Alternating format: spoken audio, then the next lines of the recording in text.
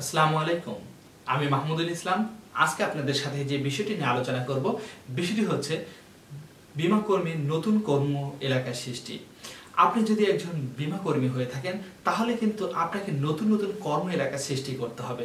আর এই জন্যই করতে হবে, কারণ এক এক এলাকার মানুষের মন মানসিকতা এক এক ধরনের। এক এক এলাকার মানুষের আর্থিক সামর্থ্য কিন্তু এক এক রকমের। আপনি যে এলাকায় ব্যবসা পরিচালনা করছেন বা বিমা পলিসি বিক্রয় করছেন, সেই এলাকায় হয়তো অনেক বেশি বিমা পলিসি বিক্রয় হচ্ছে না। আর সেই জন্য আপনি হতাশা বা মন খারাপ করে বসে থাকলে চলবে না। আপনার পাশের এলাকায় একবার গিয়ে দেখুন সে এলাকায় হয়তো মানুষ বিমা করবার জন্য বসে রয়েছে, কিন্তু কোনো ভালো বিমা এজেন্ট পাচ্ছে না। আপনি যদি সেখানে যান এবং বিমা যদি বোঝান, দেখবেন অনেক সহজেই বিমা পলিসি বিক্রয় হয়ে যাবে।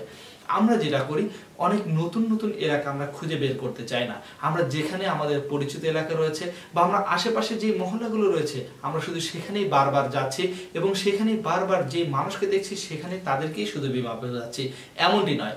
আপনাকে সপ্তাহে যদি আপনি সাত দিন কাজ করেন অথবা আপনি যদি একদিন রেস্ট করেন, ছয় দিন যদি কাজ করেন, তাহলে আমি আপনাকে বলব যে এই ছয় দিনের মধ্যে আপনি চার দিন পুরনো এলাকায় কাজ করেন। এবং দুই দিন একটি নতুন এরিয়া নিয়ে কাজ করেন। দেখবেন এই নতুন এরিয়াতে যখন আপনি ছয় মাস যাওয়া আসা করবেন, সেখানেও আপনার পরিচিত অনেক লোক তৈরি হয়ে যাবে এবং সেখান থেকে দেখবেন আপনার বিমা ব্যবসা আসতে শুরু হয়েছে।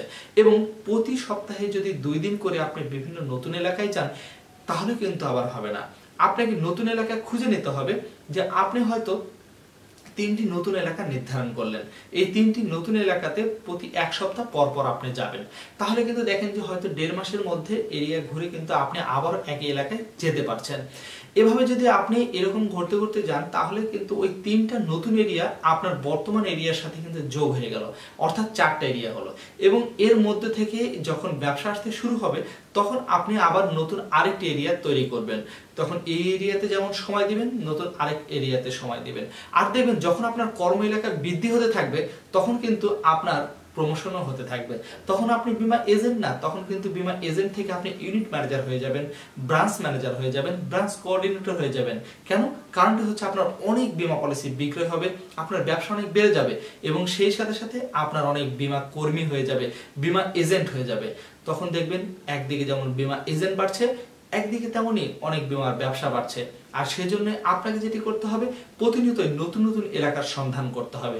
যদি নতুন এলাকায় যদি যেতে আপনি আগ্রহী হয়ে থাকেন, আপনি যদি একটু পরিশ্রমী হয়ে থাকেন, আপনি যদি সৎ হয়ে থাকেন, মেধাবী হয়ে থাকেন, বিমা পেশায় সাফল্য আপনার জন্যই। কিন্তু আপনি যদি মনে করেন আপনি যাদেরকে চিনি, শুধু তাদের কাছে বিমা পলিসি করব, আমি যে এলাকা চিনি, আমি শুধু সেখানে যাব এমনটি করলে কিন্তু হবে না। আপনার যদি একটি জীবনের স্বপ্ন থাকে আপনার যদি জীবনে অনেক বড় হওয়ার মতন আশা থাকে, তাহলে কিন্তু আপনাকে নতুন নতুন কর্ম এলাকা অবশ্যই খুঁজে বের করতে হবে।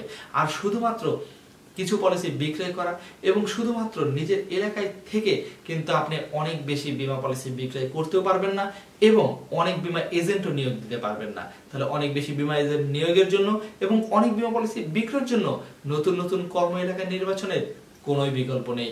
এই কারণে আমি বলছি, নতুন নতুন কর্ম এলাকা খুঁজে বের করুন এবং আপনার জ্ঞান ও বুদ্ধিমত্তা দিয়ে গ্রাহকের মন জয় করবার মাধ্যমে অনেক বিমা পলিসি বিক্রি করুন এবং অনেক বিমা এজেন্ট নিয়োগ দিবার মাধ্যমে আপনি আপনার বিমার পেশাগত জীবনে সফলতা অর্জন করুন। এই আশাবাদ ব্যক্ত করে আজকের আলোচনা এখানে শেষ করছি।